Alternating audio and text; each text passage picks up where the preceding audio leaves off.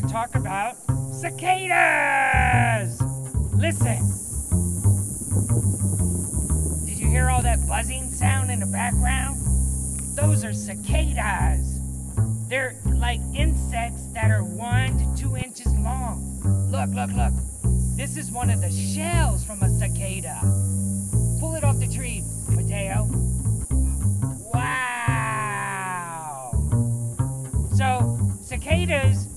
Underground for two to five years, and they burrow down deep about a foot, and they like to drink the sap out of the roots off this tree.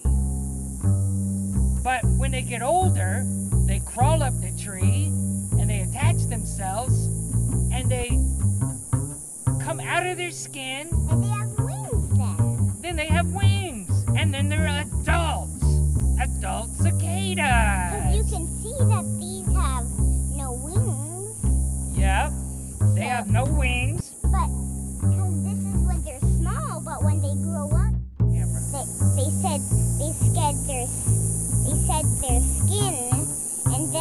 Become big and they have wings. The adult cicadas are the ones we're hearing now. They're up in the trees, right, Matteo? Up there?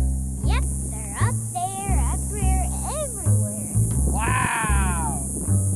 So cicadas make that noise because they're looking for another mate. And sometimes they do it if they're scared.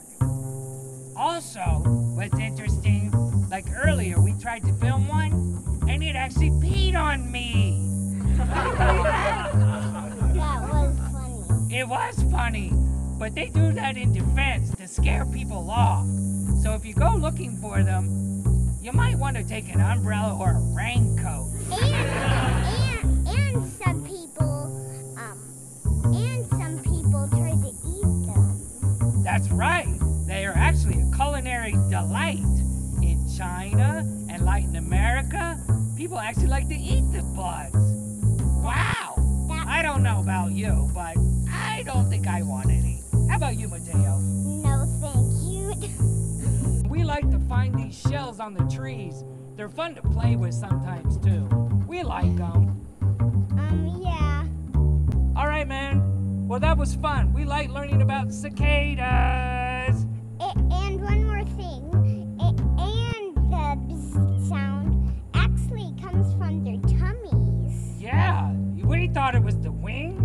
But it's not. It's actually their stomach muscles, the skeleton part, makes that noise and it vibrates under their stomach. And I thought it's from their mouths. Yeah, but it's not. It comes from under their stomach. All right. Well, it was fun talking to you guys today, and we'll see you later. Bye, everyone.